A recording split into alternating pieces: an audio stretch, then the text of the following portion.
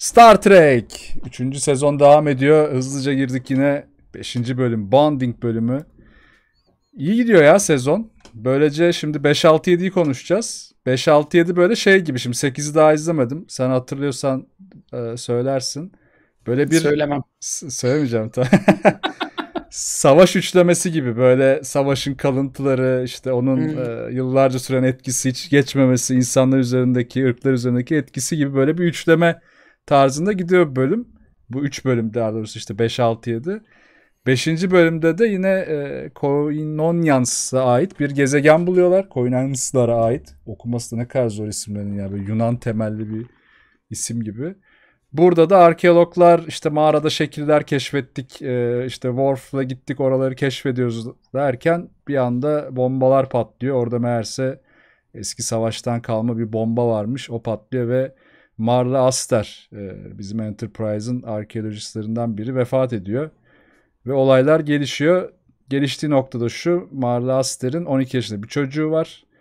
Ve bu çocuğa annesinin öldüğünü söyleyecekler. Orada herkes abi West'i sen mi söylesen Picard ben söylerim. Yok abi sen söyleme ben söyleyeyim falan derken konu çok duygusal yerlere geliyor. Yani biraz Evet, duygu yoğun bir bölüm. Evet. Hmm, şimdi öncelikle sana şunu söylemek istiyorum. Biliyorsun ben hep şöyle derim ya. Star Trek'e nereden başlamak ki. Yorumlarda çok güzel ona değinmişler. Benimki 3. sezondan başlayın dedim. Şimdi yine niye 3. sezon dersen gördüğün gibi 3. sezon topu hiç düşürmüyor. Yani şöyle Evet. söyleyeyim. Mesela The Bonding. Şimdi nispeten sıkıcı bir bölüm anladın mı? Hani o onunla konuşuyor, onunla konuşuyor. Vay benim anam öldü falan. Hani baktığında sıkıcı bir bölüm diyebileceğimiz bir şey. Hı hı. E ama öte yandan yani görev başında birini kaybetmek falan bunlar hani olan olmayan şeyler değil. Yani hep böyle hep ilerledik, hep vurduk, ateş ettik bilgisayar oyunu gibi öyle bir durum değil ya aslında. Yani bu bölüm bence biraz işin insaniliği diyeceğim. Yani kalbi açısından çok daha kıymetli bir bölüm, güzel bir bölüm. Ee, şeyi hatırlıyoruz yani. Aa işte evet hani bu uzay gemisinde astrolog, astrolog şey arkeolog da var bir kere her şeyden ilginci. Evet. Yani arkeolog bir anne evladıyla çıkmış yola. E çocuk da var gemide. Zaten Picard da bu bölüm bir yerde diyor ya ya ben zaten gemide çocuk olmasını hep sorguladım. Ne yapıyoruz biz falan filan diyor yeri geliyor falan. Sen nasıl buldun? Ya e, bölümlerin şöyle bir farkı var. Senin dediğine hemen ona ekleyeceğim. E, Eski ya ilk iki sezonda da böyle boş diyalog gibi gözüken ve evet boş diyalogla biten bölümler vardı. Bu bölümler de daha böyle evet abi ne oluyor ki şimdi falan dedin ama hep iyi biten bölümler. Yani bir derdi var. Bir şey anlatmaya çalışıyor, bir uğraşıyor. Bir de hep geçmişe e, aslında benim aradığım şeyleri buldum bu bölümde. Geçmiş referansı unutmuyor. İşte burada Picard'ın e, Wesley'nin babası öldüğünde onun görevin başında olması, Wesley'nin babasının öldüğünü hiç unutmamış olmadığını öğrenmemiz, Wesley'nin bunu çocuğa söylemek zorunda olması ki bu bence bunu biraz tartışmak istiyorum zaten. Bence gemide almış en yanlış, yanlış karar bir çocuğun başka bir çocukla konuşmaya zorlanması, bir acısı üzerinden.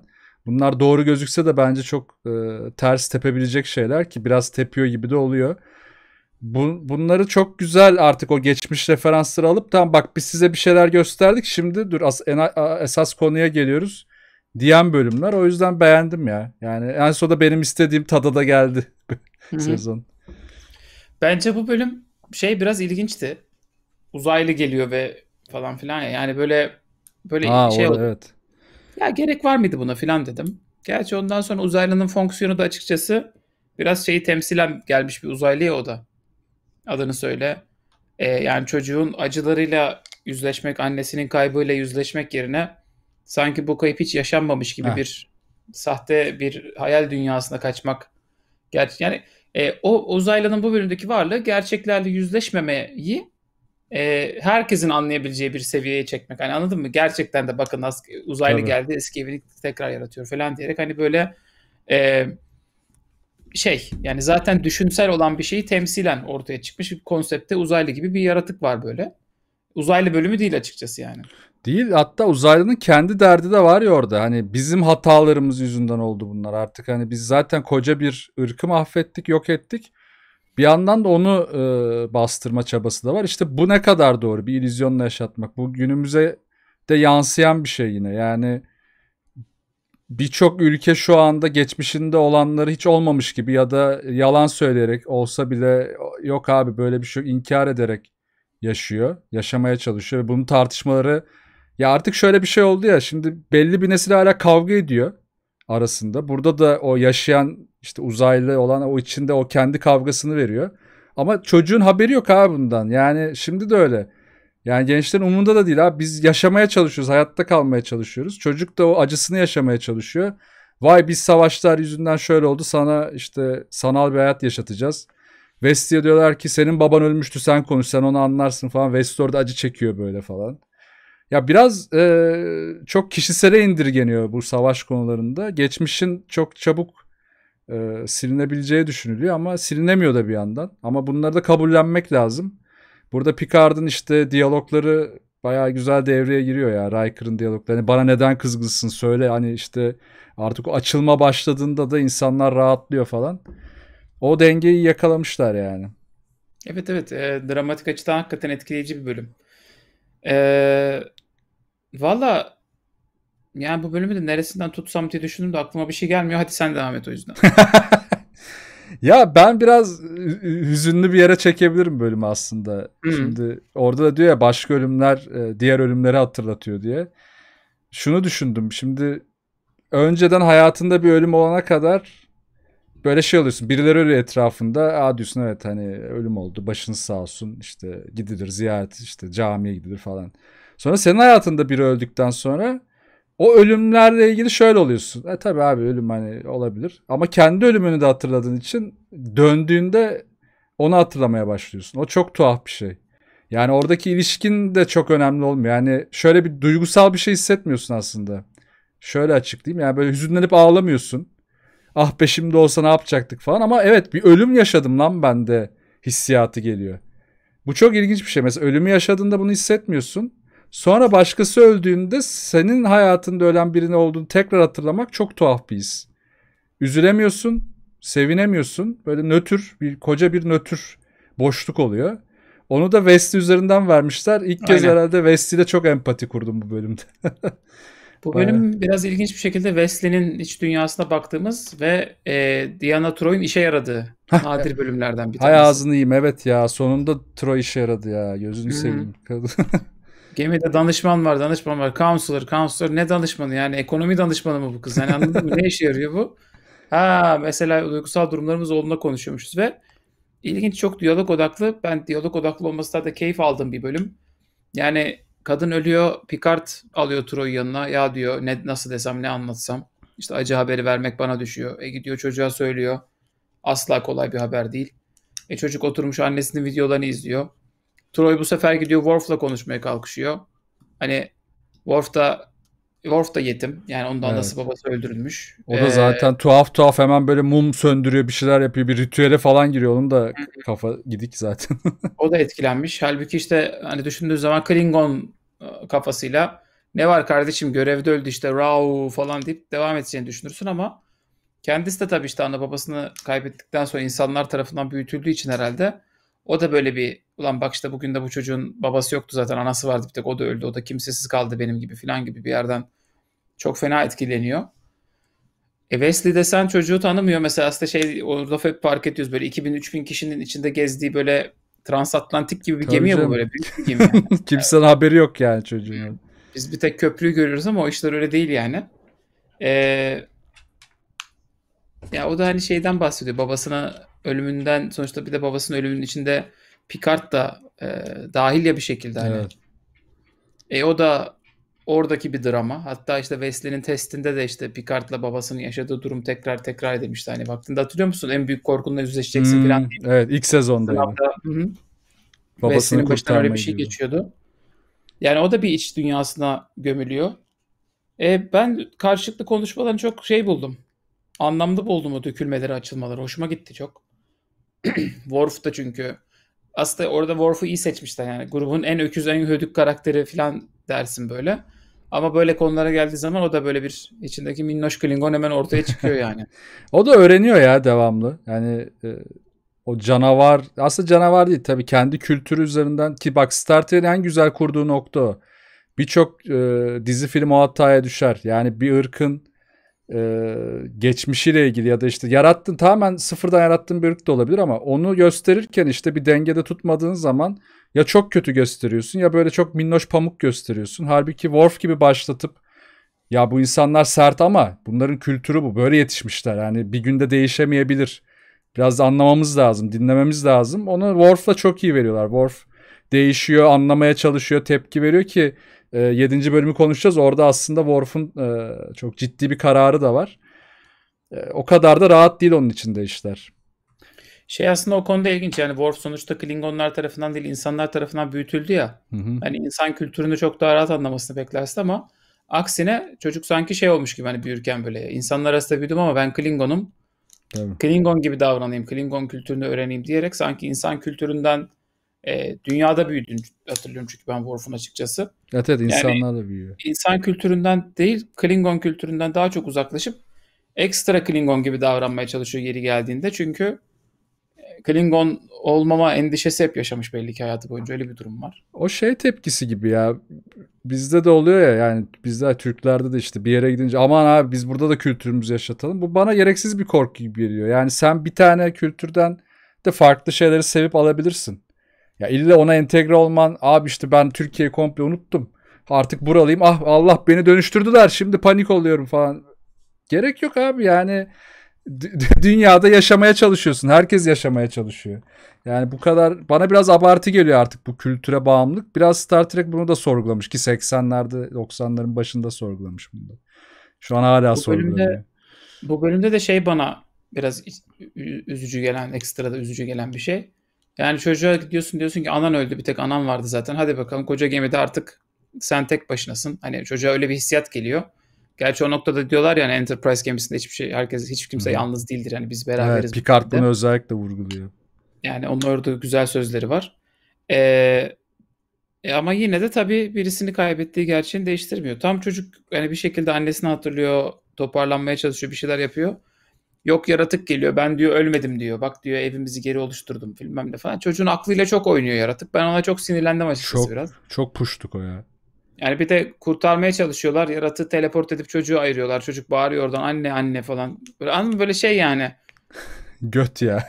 Anladın mı yani yazık zaten çocuk anne annesi ölmüş. Bin tane olay olmuş. Bir de üstüne geliyorlar annesi annen geri geldi gelmedi gelmedi öldürüyor. Tekrar bir de böyle teleport ediyorlar ya kadını. Sanki tekrar ölüyormuş gibi gözüküyor böyle. O da bir acı bir şey. Yetmiyor bir daha geri geliyor. Bir daha geri geliyor. Artık dersin ya kalk git Allah belanı versin. Yani. Ne oluyor yani? İnsanın duygusuyla ruhuyla bu kadar oynanmaz yani. O, o çocuğa oradaki yüklenme kısmıydı. Ben de çocuk çok e, bir çocuk aktör için fena oynamamış oraları açıkçası. Çocuğu hatırladın mı peki? Nerede oynuyordu? Yo. Ro- Robocop 2'deki mafya çocuk vardı ya.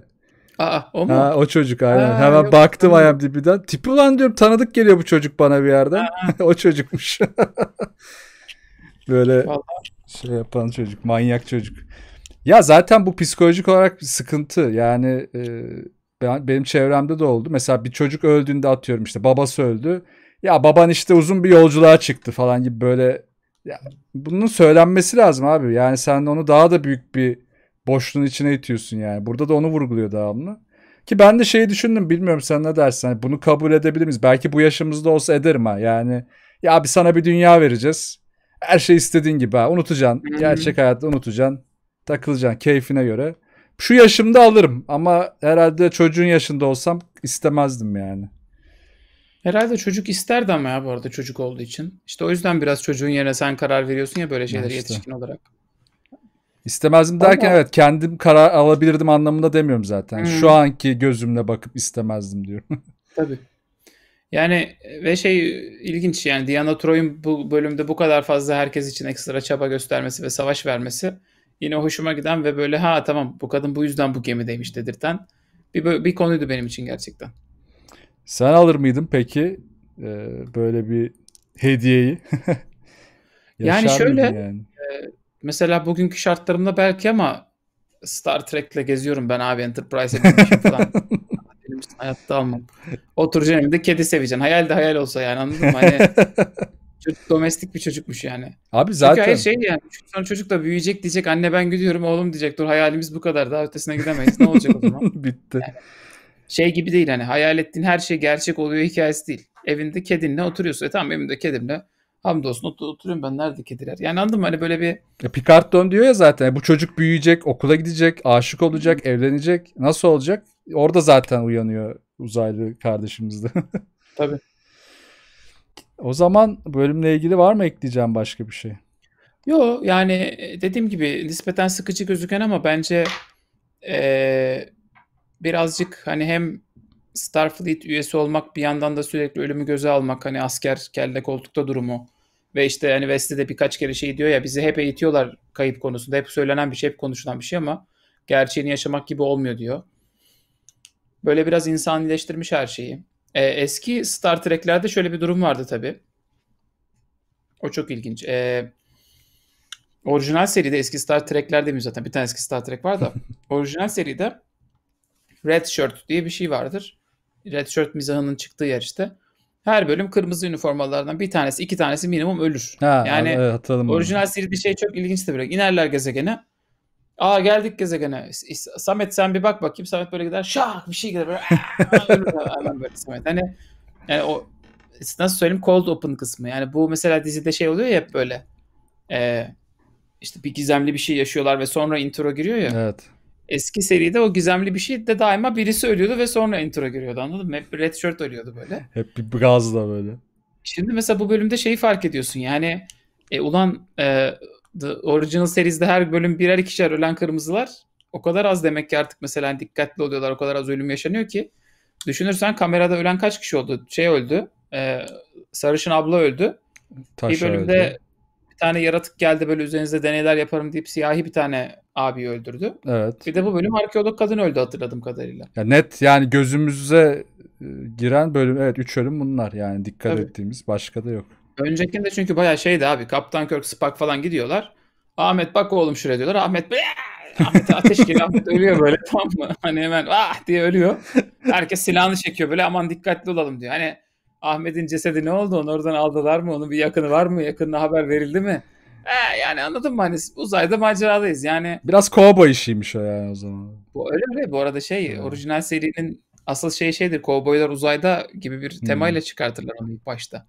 Ee, sonra evrimleşip başka bir şey dönüşüyor tabii de. Birazcık öyle canım hani eski dizilerde böyle adam gelir tak ölür öldüğünde anlarsın ya. Aynen. İşte ona kıyasla ne kadar değişmiş. Hem yıllar ilerlemiş tabii 80 küsürlerdeyiz.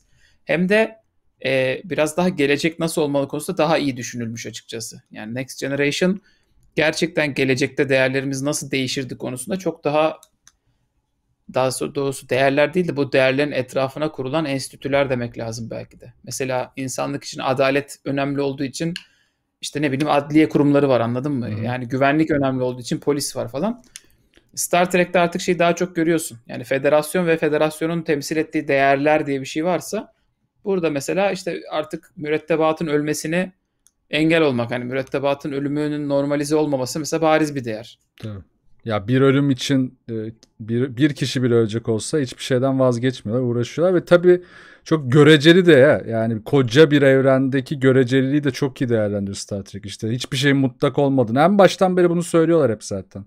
Yani ilk daha o e, çıplaklar gezegenine indikleri bölümden itibaren başlıyor. Hiçbir şey, hiçbir kanun mutlak değildir, olamaz. Görecelidir, değişebilir. E, içinden farklılıkların içinden geçtiği süreçler onları etkilemiş olabilir. Değişebilir. Herkes değişebilir e, temasını da iyi veriyor. Güzel dediğin gibi o farklı hmm. uyduları iyi kuruyor enstitü uydularını. Q bölümünde de Borglardan kaçarken 18 kişi ölüyordu yine gemide. Ve kaptan mesela hmm, diyordu evet. ki benim üstümden bugün 18 kişi öldü.